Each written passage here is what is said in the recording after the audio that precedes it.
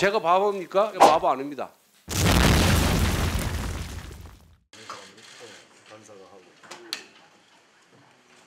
강원랜드 채용 비리 수사가 진행 중이던 당시 춘천지검장이 수사에 외압을 행사했다는 사실이 현직 검사의 폭로에 의해서 드러났습니다.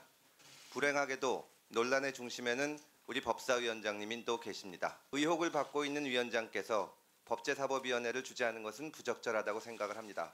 그래서 오늘 회의에 참석하지 못하겠다는 저희의 입장을 알리고 저희는 퇴, 어, 퇴장하겠습니다. 법사위원들이 법사위에서 왜 그래요? 대장하고 딴 분이 진행하시면 다 아니 대법원장 고발전인데 대법원장 대법원장 그래. 대법원장 직위에서 물러나라고 빨리 주장해요. 그건 안 하면서 말이야. 그 문제의 발단이 된 춘천지검 자체에서 그런 일이 없다고 하고 있는 마당에 어 너 의혹 제기됐으니까 그냥 무조건 다 그만둬라. 이게 지금 우리 이,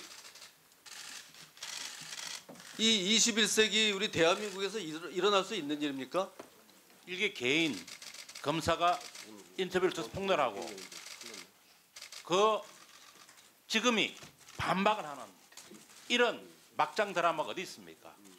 이 막장 드라마를 가지고 아니 법사위원장을 사퇴하라고요? 이거 공작 세력이 있는 거 아닙니까? 음해 세력이 있는 거 아닙니까? 혐의가 인정이 돼서 기소가 돼도 재판 중에 있어도 판결이 확정되기 전까지는 무죄 추정의 원칙이 적용되는데 검찰은 문재인 대통령의 검찰이지 자유한국당의 검찰이 아닙니다. 법사위원장이지만 야당 의원이 무슨 힘이 있습니까? 권성도가 압력을 넣는다 하더라 압력을 넣었다 하더라도 그걸 받아줄 검사가 누가 있, 있겠습니까?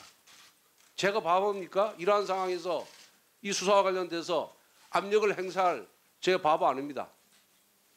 그래서 이 사건 관련돼서 압력을 행사한 사실이 전혀 없다. 그리고 안미영 검사의 주장은 허위다. 그리고 안미영 검사에 대해서는 법적 조치를 취하겠다라는 말씀을 다시 한번 드립니다. 제가 고발을 당했기 때문에 의혹, 의혹을 제기당했기 때문에 법사위원장을 그만두라라고 지금 민주당이 요구하고 있는데 대통령이나 문재인 대통령이나 장관이 고발이나 수사를 당하면, 당하면 그 대통령이나 장관들한테도 직무에서 배제시켜라. 직무를 하지 말라라고 주장하시겠습니까? 민주당 의원들이. 그리고 고발을 당했다 하는데 증거가 없는 상태에서 검찰에서 무조건 와서 소환 조사 받으라면 소환 조사 받는 것이 그게 정상입니까? 그건 또 다른 인권 침해 아닙니까?